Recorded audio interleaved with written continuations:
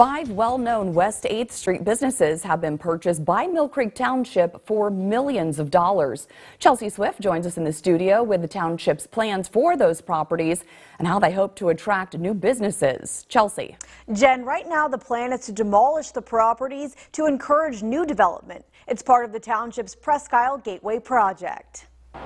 Millcreek Township is purchasing five properties along West 8th Street. The Millcreek Township General Authority voting on this Monday night, the sale costing $7.17 million. Businesses include the former Bel Air Hotel, the former Joe Roots Grill, Sandbar Draft House and Grill, the Manor Motel, and Grasshopper.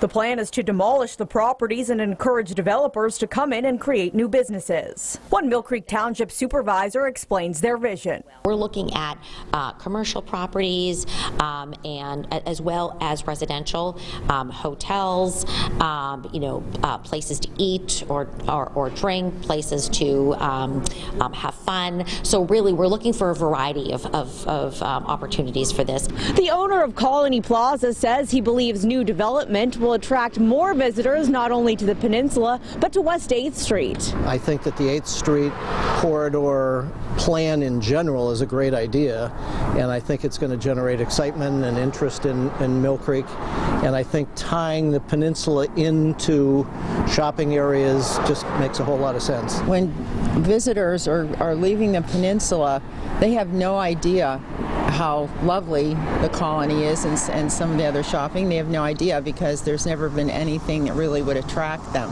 Business owners at the Colony Plaza are hoping these improvements beautify the area for both visitors and residents. It really just takes um, a little effort to, to really make it uh, pleasing to the eye and attractive to people's eyes. They want to go there, and that's what we're really hoping that the look of, of that development will be in keeping with trying to attract people.